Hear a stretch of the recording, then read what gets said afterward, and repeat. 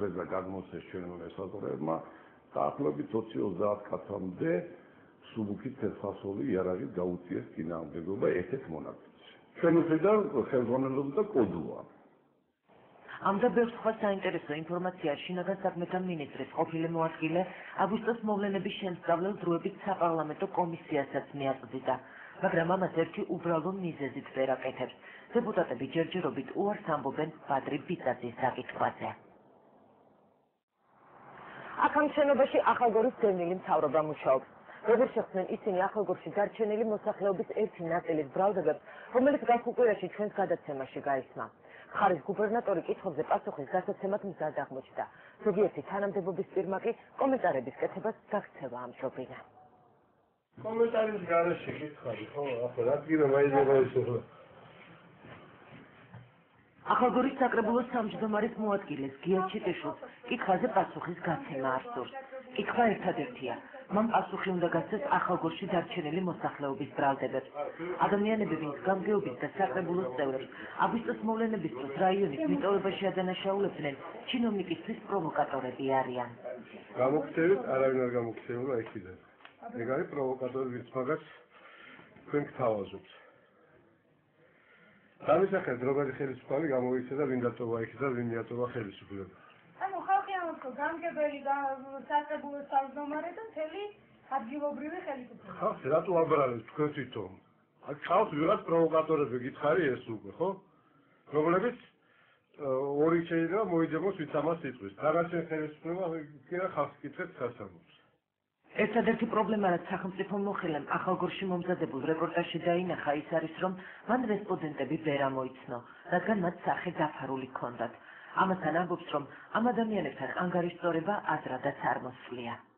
რატო უმალავს იმას სახესა და გვარს ვინც ამას ამბობს იმ ხალხს ეშინია და იმის არავის არაფერს არ ეშინია აბა რა ხდება? მაშინ თქვენ გითხარით რატო ხდება ესე თქვენ თვითონ თქვენ თვითონ აღვიებს სულს ხალხსა და ხელისუფლებას შორის. ჩვენ არ ვაღვიევთ. თორე არც ერთი ადამიანი ვერ იწვის იმას, რომ დაასახელოს, რომ ხელისუფლებასთან რამე ქონიყოს საწინააღმდეგო და ჩვენ მას გორჟი არ უდგებართ.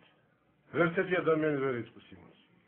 ანუ ბაში მიხედეთ ტყუილი არის ესეთი ხალხი ლაპარაკობს. რა თქმა უნდა ტყუილი არის. რა თქმა უნდა ტყუილი არის, რომ ჩვენ არც ერთი ადამიანისთვის არ ვიტყვია რომ ამ იქ შედი, ამ გამოიქეთ და რაღაც. პირიქით ჩვენ ვიცოდეთ რომ უნდა შევინარჩუნოთ ის მიზა წყალი. რატომ ალავთ ის ხალხს ვინ არის? რა, ისე და თუნდაც ვერ გავიგებდით, თქვა რომ დაინტერესებული ყავით ვინ ბრძანდებოდა ვინ თქვა. არა, არასდროს. არ გაინტერეს, არასდროს არ გაინტერესებს. ესეთი რაღაცა რომ ვიღაცაზე შური ძიებაზე ავაგოთ რაღაც. ერთი წამისაც არ იფიქროთ ეს. ეს ადამიანი რომ ვიღაცა მაშინ ეს ეს ეს ახალგორის გამგებელი ზურა ფიცხელაურია. საკრებულოს სამშობლომარის მოადგილისგან განსხვავებით მან ინტერვიუს მოცემას საერთოდ არ ისურვა. ახალგორის მცხოვრებლები ფიცხელაურს იმ ადამიანებს შორის ასახელებდნენ, რომლებიც ქართველებს დაბის დატოვებისკენ მოუწოდებენ. ხალხისთვის გაუგებარი იყო, რატომ თხოვდნენ მათ ახალგორის ქართველებისგან დაცლას. ეს ყველაფერი მოდის სათამფენთის რაიონის გუბერნატორისგან, რომელიც არის ახალგორელი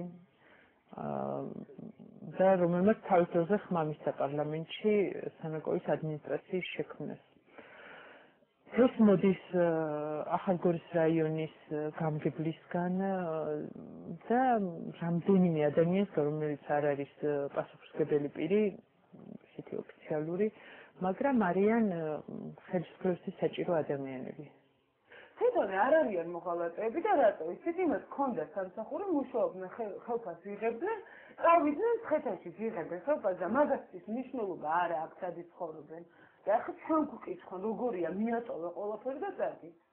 ეს არის სრული წვილი აბსოლუტური პასუხისგებლობა ჩემს სიტყვაზე ვერ ვერ ერთი ადამიანი იმას ვერ იწვის რომ გუბერნატორი, დეპუტატი, გამგებელი ვაიძულებს მოსახლეობას და დატოვოს ახალგორის რაიონი. ეს არის წყნარი სიცვე იმ დროს, როცა ჩვენ პირიქით ვცდილობთ, რომ მაქსიმალურად შევინარჩუნოთ ახალგორში ხალხი. ბრალდებებს პასუხი მცხეთა მთიანეთის მხარის გუბერნატორმა ცეზარ ჩოჩელმაც გასცა.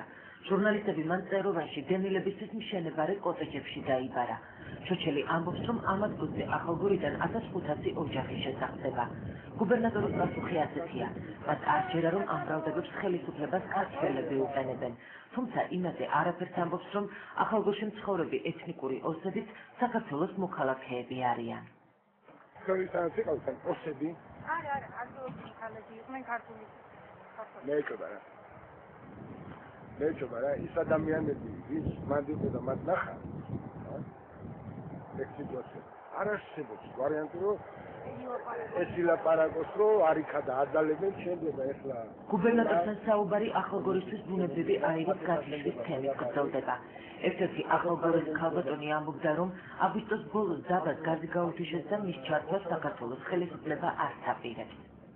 დაზიანება სერიოზული ტრასაზე, რომლის აღდგენის სამუშაოების საშუალება არ ეძლევათ და გინდათ რომ დაუშვათ და მივახციოთ და აღვადგინოთ რეალურად. იქ არ არის ასწრიგებელი პირი, ვინც ამ გაზს მიხედავს. აი დაუშვათ და ვისმინეს ოჯახში აფეთქდა. ან რაღაც გაზონვა მოხდა. უსაფრთხოება, არანაირი უსაფრთხოება იქ არ არის დაწესებული. ხეთაში დაბანაკებული ახალგორის მთავრობაც და გუბერნატორის ყველაზე მეტად იმ ფაქტმა გააღიზიანა, რომ მოსახლეობა მათ ომის დროს რაიონის მიტოვებაში ადანაშაულებდა. ისინი იხსენებდნენ, რომ მთავრობა აგვისტოს შუა რიცხვებში გაიქცა. ამასთან ხალხი ისე მიატოვეს, რომ საშიშროების შესახებ არც კი გააფრთხილეს. როცა საშიში იყო და მართლა აქედან გასაქცევად იყო საქმე თურმე, და იცოდნენ რომ შემოდიოდნენ იქ ოსები და რუსები, მაშინ არ გაგოფრთხილა ხელისუფლებამ პირიქით გეუბნებოდნენ რომ რასისულელია დარჩით, ვინ შეგეხებათ, არაფერი არ არის. მახსოვს ჩემი უბნელი ბიჭი გადაუდგა მათ გაქანებულ მანქანას და უთხრა რაშვებით სად გარბიხართ გითხარით რა ვქნათ. აგერ წადა გაიქეცითო რა, ისინი თავიანთ გზაზე მირბოდნენ. ამ ფაქტს გუბერნატორი კატეგორიულად უარყოფს და აცხადებს, რომ ახალგორი 22 სექტემბერს დატოვა. უარყოფს იმასაც, რომ იქიდან ქონება წამოიღო. რწმუნებული საუბრისას იმასაც არ მალავს, რომ აგვისტოს ომის დროს მას ახალგორში საკუთარი სახლის მშენებლობაც არ შეუჩერებია. არ გამიდგია ფეხი მეთქი. მე გეუბნები და ჩემთან იყო იქ დაახლოებით 150 კაცი. ის ბიჭები, ვის მართლა იქ ვიყავით, არა? ვიყავით წყეში, წყეში, ღეში, მაგრამ ენა ძვალი არ აქვს. ისაუბრებენ რაც უნდა. აჰა. გაუყოთ. ავეჯი გაიტანა, რა ავეჯი უნდა გამეტანა? ვაფშე არ იყო, ავეჯი არ აქვს რეალურად. სარში მქონდა, ნუ 90 წელში ნაკიდი ავეჯი და ეხლა წარმოიდგინე 10 წლის ავეჯი. და ისევა დაკნებული ეხლა.